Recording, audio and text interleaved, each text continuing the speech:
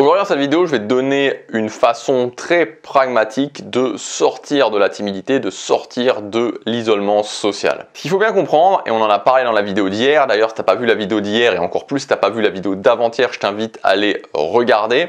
Euh, ce qu'il faut bien comprendre, c'est que euh, les dynamiques sociales, c'est un ensemble de compétences à développer. Tous les objectifs que tu peux vouloir atteindre socialement, en fait, si tu les découpes, tu peux les découper en compétences à développer. Et le problème, c'est que beaucoup de personnes, en fait, quand, et souvent quand on part de très loin, comme c'était mon cas à moi, c'est-à-dire j'étais complètement bloqué socialement, quand on est très timide, quand on est très réservé socialement, on stagne. Et pourquoi on stagne? Parce que on fait les choses dans le désordre. En tout cas, on essaie de faire les choses dans le désordre. Et donc, du coup, ça mène à quoi? Bah, Ça mène au même phénomène que si tu avais un enfant qui voulait absolument courir avant de ramper. Tu vois, ça fonctionne pas, ça ne peut pas fonctionner. C'est exactement la même chose au niveau des dynamiques sociales. Tu vois, il faut faire les choses dans l'ordre parce que si tu fais pas les choses dans l'ordre, en fait, ce qui va se passer, c'est qu'à un moment donné, tu vas être limité automatiquement. C'est-à-dire que si aujourd'hui, tu veux t'améliorer socialement, tu vois, tu veux vraiment t'améliorer socialement, tu as des objectifs sociaux, tu veux vraiment changer ça, tu en as marre d'être isolé, tu en as marre de de pas être intégré socialement, tu en as marre d'être timide, tu en as marre d'être dans ton coin et que tu veux changer.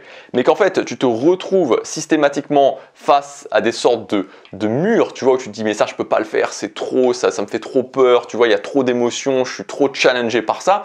C'est tout simplement en fait que tu ne fais pas les choses dans l'ordre, tu vois, tu ne fais pas les choses dans l'ordre et quand tu fais pas les choses dans l'ordre, c'est comme si, tu vois, tu faisais un jeu vidéo aussi et que au lieu de commencer par le niveau 1, puis le niveau 2, puis le niveau 3, tu commençais par le niveau 10, tu vois, et forcément tu, te fais dégommer, tu vois, ton personnage va, te faire, il va se faire exploser. Bah, c'est exactement la même chose, tu vois, quand tu veux t'améliorer socialement, mais qu'au lieu de commencer par le niveau 1, tu commences par le niveau 10, tu arrives face à des challenges qui sont beaucoup trop importants, ou émotionnellement c'est trop challenging. Et donc finalement tu te dis mais voilà je sais pas pourquoi j'y arrive pas euh, je suis pas fait pour ça tu vois et après tu commences à t'identifier à ça et au final ça mène à quoi? Ça mène au fait de laisser tomber. Donc moi je veux pas ça pour toi je veux pas que tu laisses tomber. Je sais parce que je l'ai fait parce que j'ai vu aussi plein de personnes qui l'ont fait justement de réussir à sortir de ça de réussir à se transformer socialement de réussir à atteindre leurs objectifs sociaux. Donc je voudrais te donner en fait dans cette vidéo une carte de l'ordre dans lequel développer les compétences. Donc je vais le faire vraiment pour des gens qui partent de très loin, qui partent d'aussi loin dont je suis parti, c'est-à-dire vraiment du niveau zéro où je suis,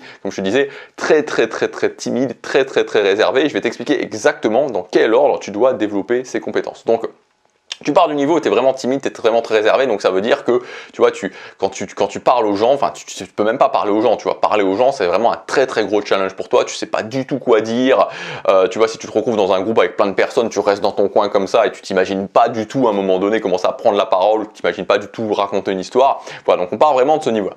Donc, si tu pars de ce niveau-là, la première chose à faire, vraiment la première étape à faire, c'est de, moi, ce que j'appelle débloquer la timidité, débloquer la timidité importante et augmenter ton estime de soi, ton estime de toi, pardon. Donc c'est vraiment les deux premières choses qui vont ensemble.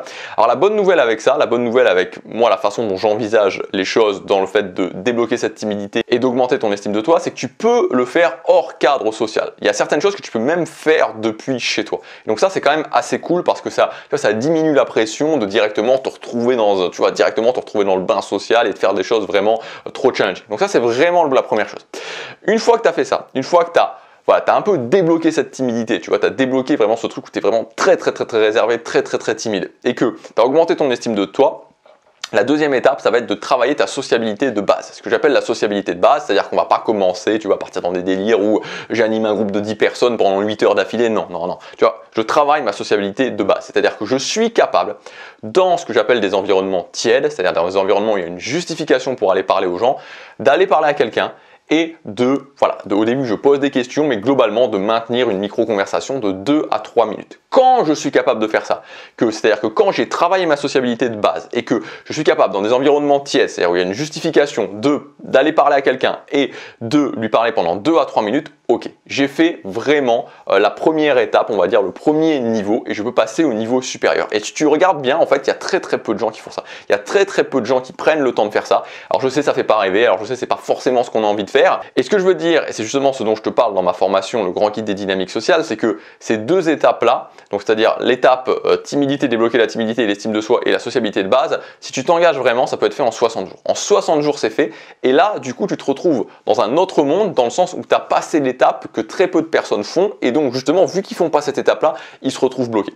Donc ça, c'est euh, vraiment voilà, le premier niveau. Ensuite, une fois que ça c'est fait, donc tu peux le faire en 60 jours, une fois que ça c'est fait, tu vas pouvoir rentrer dans le deuxième niveau. Et le deuxième niveau, c'est l'intégration sociale, les conversations et le respect intégration sociale, conversation et respect. Donc ça c'est vraiment le moment où tu vas pouvoir voilà, tu vas pouvoir commencer à la fois à travailler là-dessus, en même temps atteindre des objectifs sociaux en même temps que tu fais ça, mais tu n'es plus bloqué, tu n'es plus complètement bloqué, tu peux commencer à travailler là-dessus.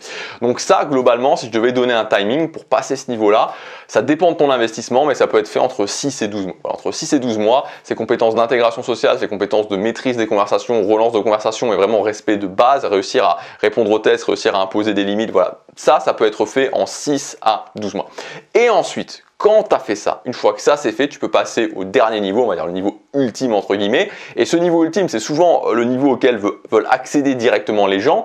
Et en fait, tu vois, moi je suis vraiment moi, je pense vraiment que c'est beaucoup plus intéressant de prendre 6 mois, un petit peu plus de 6 mois, où tu fais bien les choses et ensuite tu peux travailler sur ce niveau-là, plutôt que de vouloir directement passer à ce dernier niveau, où en fait, ce qui se passe, c'est que bah, finalement tu vas pas le faire parce que c'est trop complexe à travailler quand tu es vraiment timide, quand tu es vraiment réservé socialement. Donc ce dernier niveau, ça va être les compétences qui vont être le magnétisme, donc magnétisme slash charisme, le leadership, développer un cercle social qui te correspond vraiment et tout ce qui concerne les dynamiques de groupe. Donc voilà, tu vois, si tu fais les choses dans l'ordre, si tu fais vraiment les choses petit à petit dans l'ordre, au lieu de te retrouver comme beaucoup de personnes dans 2, 3, 4, 5 ans, en être toujours au même point, se dire je suis pas capable d'y arriver, ce qui est faux, tu vas faire les choses petit à petit, de la bonne façon, et tu vas pouvoir progresser à ton rythme sans avoir trop de Donc si tu veux aller plus loin, moi je t'ai préparé un programme complet. Aujourd'hui c'est le dernier jour, ça s'appelle le grand guide des dynamiques sociales. C'est vraiment la plus grande formation que j'ai fait au niveau des dynamiques sociales. C'est à la fois pour vraiment comprendre en profondeur le langage des dynamiques sociales et aussi pour pouvoir